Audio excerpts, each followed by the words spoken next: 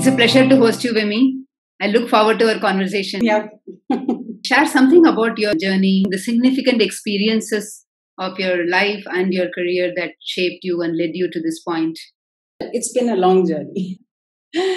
and, uh, uh, you know, when I was a kid, uh, everybody asked, What do you want to become? Right? I always had this thing of that I want to be economically independent and I'd like to work for a cause. That was something that I had right from, you know, when I was a fairly young child and even when I was a teenager in college. That interestingly got me to my first job at TRAI, which was quite a coincidence. I was traveling from somewhere in Delhi from one part to another and I saw this huge hoarding of TRAI. Then I came back home and I searched about TRAI and it really excited me about the organization, what it stood for, what it was doing. And I still remember this incident.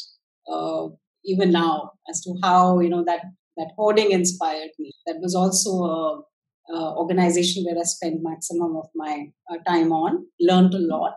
Uh, mm-hmm. Extremely inspiring, extremely dynamic uh, organization, mm-hmm. and I've pretty much been with the development sector. Yes, I mean uh, I think I've had a very very fulfilling, I would say, mm-hmm. Uh, fulfilling career. All learned a lot from different organizations that I've worked for. And also realized one more thing that there's enough of learning uh, in the development sector as well. There's a lot of innovation. There's a lot of, of course, there's a lot of inspiration. Uh, not just because you're working for a cause, but also as personal investment into yourself, you as a professional. I think the sector itself has gone through its journey, working for a good cause, doing good. But you would realize that soon it shifted from there. The whole sort of dynamic shifted to this is our right and we must have it. Mm-hmm. Shifted from, you know, there is a lot of social injustice and inequity around us. And how is it that we can bring about a change? Also, the fact that how can you not let uh, social injustice bog you down? But how is it that you can, how can it actually excite you? And how can it charge you to do something about it? Mm-hmm. Otherwise, it can get a little easy to get overwhelmed with so many problems around us. But this mm-hmm. also tells you how is it that you have to be, you should be personal resilient. If you have to make a change, a positive change, then you need to be, organizations need to be personally resilient. The other thing that you will see is that uh, in the sector, need for evidence and impact has come in over a period of time whatever work organizations, many of the organizations do, they want to showcase what is the evidence for doing what they're doing, equally, what is the impact that they're creating. Mm-hmm. So that's another one. And also, the other mm-hmm. thing that uh, professionals in the development sector need is constant learning and growth. So, opportunities for constant learning and growth. All of that, I think, has come. So, I would say that the uh, sector has evolved a lot, both in terms of the work that it does uh, and the accountability uh, the governance as well. You know uh, the way the organizations run themselves you have to have be accountable to your board as well as to your beneficiaries.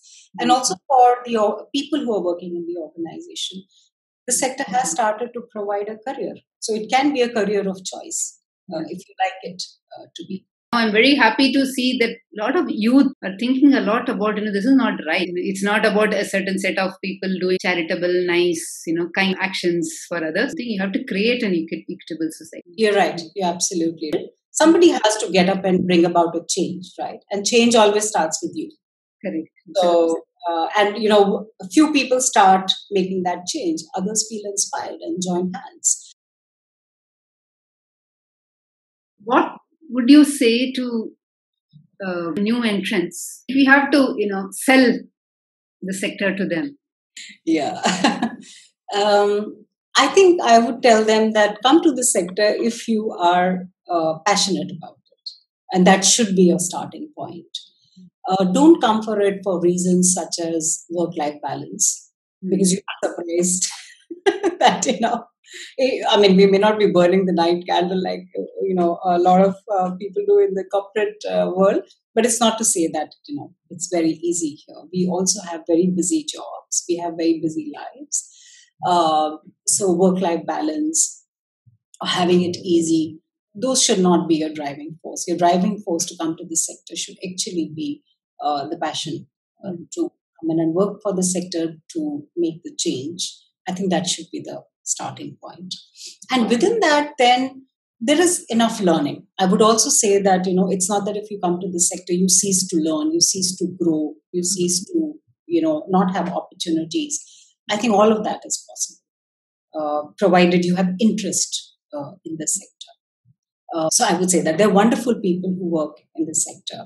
I mean, I work with a bunch of uh, intellectuals, really smart, interesting, uh, dynamic people, and there's so much that I learn from them itself. And work itself becomes so enjoyable and um, you know exciting because of the kind of people that I uh, work with. Uh, so you have thematic experts in this area. You have great mentors and coaches uh, in the development sector as well. And there's a lot of dynamism. There's a lot of excitement and energy. So those should be your driving reasons for coming into the sector. And then when you're young uh, uh, in the development sector or in any sector, on a very generic level, I would say curiosity is extremely important. Be curious. Invest in yourself. Find your mentors right at the start. Build your brand, speak your views, have opinions, state them.